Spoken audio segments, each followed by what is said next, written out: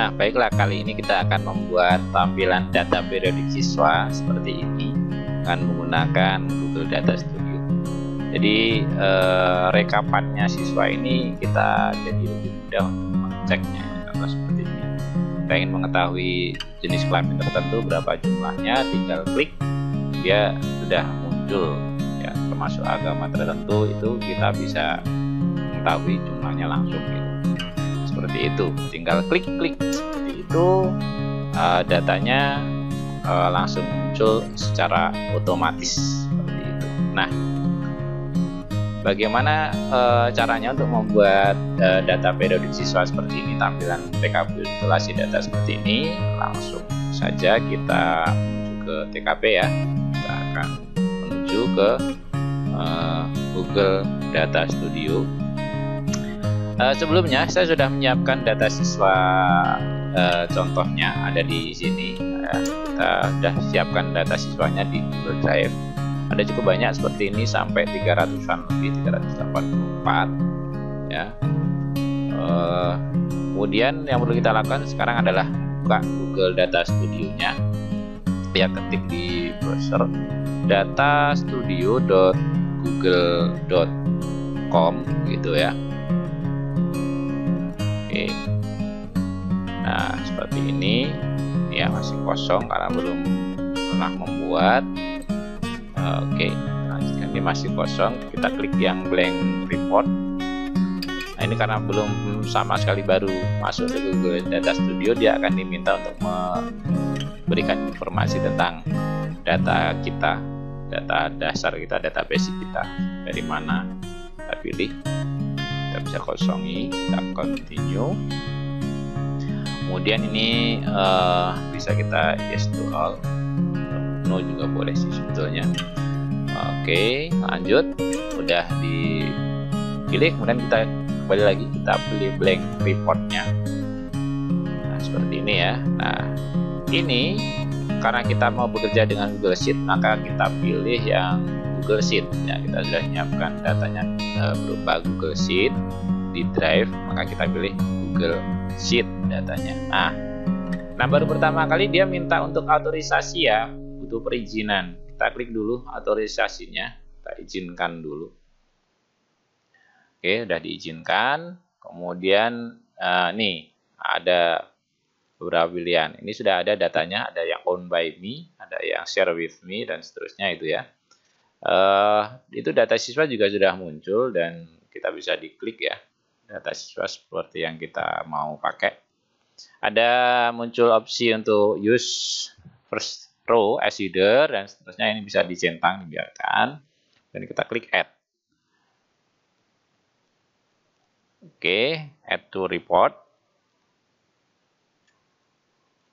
Kemudian ini sudah tampil di sini dan muncul. Nah, ini ada muncul tabelnya. Ya, cuman untuk uh, ininya ya. Kita lihat tabelnya. Ini layoutnya kalau kita lihat ini cukup besar. Ini karena ini tampilan untuk layar apa namanya? Ini untuk layar PC ya atau laptop. Nah, maka uh, sebentar kita otak atik dulu nanti sebelum kita bayarnya. Di tabel ini kita mau tambahkan enggak hanya nama, karena di tabel itu kita mau tambahkan ada nama, jenis kelamin ya kita lakukan seperti ini ya. Oke, kita tambahkan. Tabelnya ada E, jenis kelamin, agama, kita tambahkan satu lagi kelas. Kita tinggal klik drag ya, drag drop ya, drag and drop ya. Tambahkan di sini. Oke, sudah muncul. Kemudian alamat kita nggak butuh yang recordnya ya. Nah, ini kita nggak mau membutuhkan ininya, maka ini bisa kita hapus record count-nya. Jadi, oke, udah. Nah, ini tampilannya yang tadi saya sampaikan. Ini bisa kita atur-atur lebar dan tingginya. Nah, ini karena ini tampilannya ini untuk PC atau laptop, maka layoutnya ini lebar gitu. Padahal kita pengennya uh, uh, kita dia juga dilihat enak di HP gitu kan. Kalau dilihat enak di HP berarti ini tinggi dan uh, lebarnya perlu kita sesuaikan gitu. Ya, untuk berapa HP sih yang panjang dan lebarnya gitu. Uh, kalau lupa ukurannya berapa untuk panjang dan lebar di HP misalnya ini bisa kita browsing ya, browsing dulu. Atau kalau nggak sekitar uh, 600 900 lah yang umum itu ya. 900 itu tingginya, 600 itu lebarnya begitu ya. Nah, ini ini ke kebalik ya, 600 900. Oke. Sebentar. Oh, mungkin ini lebih enak kalau kita browsing dulu aja. Sebentar. Kita atur dulu.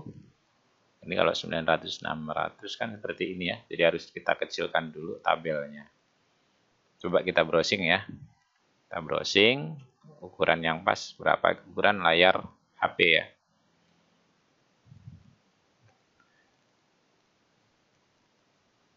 Nah, ukuran layar HP di situ yang populer ini ada Oke. Kelihatan ini ada 640 kali 960 ya. Nah, oke, oke, dapat 640 960 kita kembali lagi ke data studio kita. E, layoutnya kita ganti ukurannya diganti ya diganti menjadi lebarnya itu tadi berapa? 640 tingginya 960 ya. 960 oke udah dan oke. Kita juga bisa tambahkan di sini bisa kita tambahkan uh, apa ya? Kotak biar cantik seperti yang tadi Ya, ini sesuai selera sebenarnya ya. Kita contoh saja. Kemudian kita bisa tambahkan logo atau gambar. Misalkan seperti ini. Diambil dari komputer juga bisa. Ya. Oke. Kita tambahkan dulu, kita cari.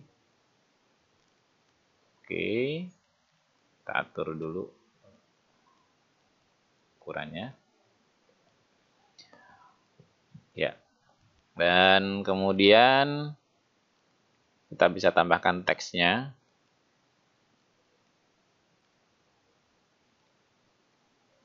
Nah, ini bisa kita ubah juga ukuran fontnya. Bisa kita perbesar. Bisa kita bold. Termasuk sebetulnya jenis fontnya ini juga bisa kita pilih. Kita atur dulu. Ya. Oke. Mau rata tengah, kanan, kiri juga bisa ya diatur. Nah, kemudian uh, layout selanjutnya kita bisa atur-atur juga di situ ya. Kalau mengatur layout di situ, contoh ya seperti ini. Kalau mengatur layout di hmm, apa namanya ini uh, layout tampilannya ini bisa kita milih ya, warna-warna yang ditawarkan secara default dari Google Data Studio itu mau dipilih yang mana seperti itu. Jadi kalau misalkan saya milih yang biru ini ya, yang yang biru biru biru. Nah, yang biru dia akan menyesuaikan warnanya gitu kan. Nah, ini udah warna biru, kita lanjut. Ntar kita tambahkan dulu, kita klik dulu. Oke. Hmm, kita custom Oke, sebentar. Kita custom dulu uh, layoutnya. Oh, Oke, ini untuk layout uh, backgroundnya ya bisa diatur. Dia kita juga bisa minta dibuat gradasi ataupun solid ya warnanya ya bisa diatur sesuai dengan keinginan. Nah gitu ya. Oke. Oh, ups, sebentar, oh, malah ke tabel ya. Kita salah keklik ya tadi ya. Kita ulangi untuk yang di backgroundnya kita layoutnya kita atur sebentar. Kita atur custom untuk backgroundnya kita mau gradasi uh, gradient berarti ini diatur sama dari warna biru ya sampai ke biru yang ini ya. Oke dan selesai. Kemudian ini header di tabelnya. Kita ubah juga stylenya warnanya biar agak kontras gitu. Oke. Oh ini kita ganti ya warnanya apa ya misalkan hijau hijau nggak enak kurang nyaman kayaknya. Kita ganti warna yang lain. Oke oke. Oh ini aja ganti warna biru biru tua biru tua. Ya biru tua. Nah kemudian ini untuk barisnya ini juga bisa kita ganti. Tiap baris biar berbeda. Oke. Kita ganti. Oke. Ya udah udah terganti. Kemudian bisa sekarang kita sudah sedikit mengatur tampilannya. Sudah kita atur. Sekarang kita mau menambahkan filternya filternya bisa kita tambahkan uh, sebentar kita klik lagi kita ulangi. Jadi filter yang nama kelas gitu ya agama kita menggunakan yang filter drop down. Kita bisa klik nah, di sini. Nah, oh nggak kelihatan ya, nah masih transparan kita bisa atur juga stylenya. Dan ganti warnanya. Eh, dari ke bawah ya boxnya kita ganti.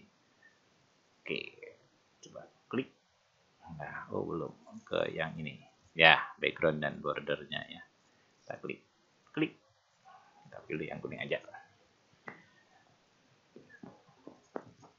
ya Sip, udah. Dan kemudian ini biar cepat kita tidak perlu uh, buat satu-satu sesuai dengan kebutuhan. Kita butuh ada untuk nama, kelas, agama, dan jenis kelamin. Berarti kita butuh empat filter.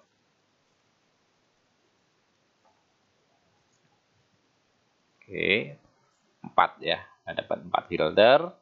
Nah, kemudian ini bisa langsung kita timpa di sini untuk kita ganti dari yang nama. Kita ini kan misalkan ini kita ganti kelas. Kemudian yang ini kita ganti dengan jenis kelamin. Dan yang terakhir ini adalah agama ya agama. Oke kita timpa. Iya udah selesai kemudian satu lagi yang belum kita lakukan adalah untuk jumlah totalnya jumlah totalnya kita tambahkan di menu add a chart nah ini pilih yang ini ya totalnya Nah ini, nah ini tulisannya juga kelihatan. Kita atur juga stylenya. Kita atur stylenya, eh, warnanya kita coba ubah. Ganti warnanya, diganti dengan backgroundnya, ganti yang kelihatan kuning juga ya. Nah, sudah selesai. Nah, sudah selesai kita coba. Hmm, nah, oke. Okay. Kita ganti warnanya dulu biar kelihatan oke kita bisa view oke ini bisa kita perpanjang dulu sesuai dengan ukurannya biar penuh ya oke kita bisa view dulu kita coba dulu kita coba view. Udah berfungsi atau belum? Kita klik misalkan uh, kita filter dengan agama. Kita klik. Oke. Ke agama Islam ada 367 orang. Ada yang agama yang lain ya jenis kelaminnya. Kalau jenis kelamin anak cowok laki-laki ada 210 ya udah, udah udah berfungsi ya. Jadi ini udah berfungsi. Nah sekarang uh, kita bisa share ya uh, ini ke orang lain. Kita bisa klik di sini get report link. Nah di sini uh, kita bisa change settingnya dulu change sharing settingnya. Secara default dia itu uh, aksesnya itu hanya orang tertentu yang bisa akses. Nah ini bisa kita ganti dengan anyone on the internet can find and view jadi bisa dilihat oleh semua orang ya kalau defaultnya yang ini ya yang bawah ya nah, ini kita pilih yang paling atas boleh Tentunya bisa disesuaikan dengan kebutuhan. Kita pilih. Ini berarti bisa kita copy linknya ya. Kita copy. Kita save. save nah, coba kita copy kita copy ya kita bisa coba dulu kita menggunakan uh, jendela incognito. Jendela samaran dan jalan atau belum? Nah ini tampaknya oh, sudah berhasil berjalan ya. Kita berhasil ya. Oke. Nah, berhasil. Sip nah bisa dibagikan ke orang lain untuk tabel data periodik ini atau uh, rekapitulasi data ini. Jadi setiap orang bisa menggunakannya bisa memanfaatkannya. Nah, tadi ada masih ada judulnya untitled report ya. Ini bisa kita ganti biar tidak untitled report. Kita ganti biar sesuai judul. Nah kita coba. Kita ganti dulu. Oke. Kita view lagi Oke, kita kita view di ini apakah sudah berubah atau belum? Uh, kita refresh dulu.